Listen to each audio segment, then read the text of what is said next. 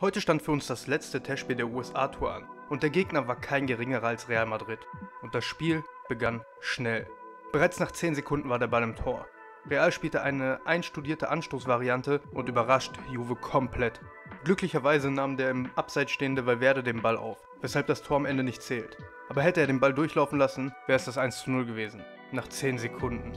Auf diesem Level darf man sich einfach nicht so überrumpeln lassen. Auch wenn es am Ende nicht bestraft wurde, darüber muss man sprechen. Wie schon gegen Barcelona stellte sich Juve die ersten 10 Minuten hinten rein und das Spiel bestand aus viel Druck von Real. Juve zeigte kaum Kreativität, hatte wie immer kein gezieltes Aufbauspiel und machte viel zu viele Fehler, sowohl technisch als auch taktisch. Zum Glück für Juve konnte aber auch Real ihren Ballbesitz nicht richtig ausspielen, zumindest vorerst. Nach 12 Minuten hatte Juve dann die erste Gelegenheit per Freistoß. Bonucci schoss direkt und traf die Latte. Ein sehr schöner Freistoß. Aber auch wie Fagioli den Freistoß rausgeholt hat, war sehr, sehr stark. Er ist ohne Angst gezielt ins Dribbling gegangen, um diesen Freistoß zu ziehen, weil es die einzige Möglichkeit war, im Ballbesitz zu bleiben. Phänomenal. Aber nur 6 Minuten später, in der 18. Minute, gab es dann Elfmeter für Real. Ein sehr schwacher Ballverlust von Juve im Angriff und sehr unnötig vor allem. Vlaovic will den Angriff abbrechen, spielt zurück, Danilo passt nicht richtig auf, bekommt dadurch den Ball nicht, Vinicius schnappt sich die Kugel, geht in den Strafraum und der zurücklaufende Danilo fault. Benzema lässt sich die Chance natürlich per Elfmeter nicht entgehen. Aber das war ganz, ganz schwach von Danilo und das kennt man so nicht von ihm. Man muss sagen, im Ballbesitz spielte Juve gut, zumindest in der gegnerischen Hälfte. Allem voran das Mittelfeld machte einen sehr, sehr guten Job. Das Problem war aber, dass man nicht entscheidend ins letzte Drittel kam und wenn Real nach vorne kam, wurde es gefährlich. Weil, wie ich seit Monaten sage, unsere Abwehr einfach nicht gut genug ist. Vor allem nicht gegen solche Gegner in solchen Spielen. Da können wir einfach nicht mithalten. Nach dem 1 zu 0 gab es auf beiden Seiten lange keine Chancen. Beide Teams machten viel zu viele Fehler und spielten ihren Ballbesitz sehr, sehr unsauber aus. Erst nach 42 Minuten gab es mal wieder einen Abschluss durch Vinicius und selbst der war eigentlich nicht nennenswert. Mit dem 1 zu 0 ging es dann auch in die Halbzeit. Und wie schon gesagt, es war ein Spiel, in dem sehr, sehr viele Fehler gemacht wurden.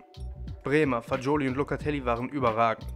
Der Rest bei Juve war jedoch sehr, sehr enttäuschend.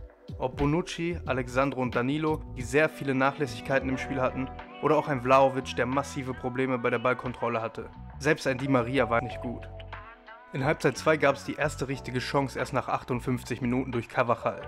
Real spielt sich gut in den Strafraum, Cavachal kommt frei zum Schuss, schießt aber relativ zentral auf Perin, der den Ball locker hält.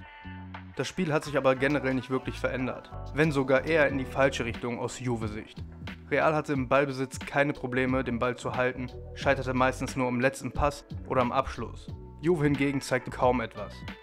Drei Minuten nach dem Abschluss von Cavachal zeigte Perin mal wieder, was für ein fantastischer Keeper er ist. Ein sehr guter Schuss von Karim Benzema aus lange Eck, Perin konnte aber zur Ecke abwehren. Eine sehr, sehr starke Parade. Danach wechselte Real einmal komplett durch, aber selbst mit der Zweitbesetzung änderte sich nicht viel. In der 69. Minute dann das verdiente 2 zu 0 für Real und wie ich schon sagte, es lag eigentlich nur daran, dass Real vorher den letzten Pass oder halt den Abschluss nicht sauber spielte. Real konnte sich durch die schwache Juve-Defensive spielen, wie sie wollten. Und Juve konnte mehr oder weniger froh sein, dass es nur 2 zu 0 stand und nicht 4 oder 5 zu 0. Daraufhin passierte in dem Spiel nicht mehr so viel und das Spiel endete dann auch mit dem 2 zu 0.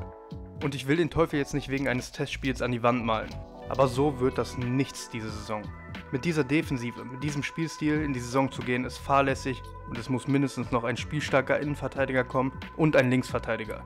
Ich weiß, ich wiederhole mich. Ich wiederhole mich ständig. Aber wenn man jetzt bei Juve nicht die Baustellen endlich erkennt und die Probleme löst, dann verspielen wir die Champions League Qualifikation. Und von der Meisterschaft rede ich da schon gar nicht mehr. Ich mache mir wirklich Sorgen. In zwei Wochen beginnt die Liga und der Kader und der Spielstil sind immer noch ein Desaster. Aber was meint ihr? Glaubt ihr, Juve kriegt die Kurve noch oder seid ihr generell zufrieden mit dem aktuellen Status? Schreibt es mir gerne in die Kommentare. Lasst gerne ein kostenloses Abo und ein Like da, um den Kanal zu unterstützen. Ich danke euch fürs Zuschauen. Macht's gut. Haltet die Ohren steif und ciao, ciao.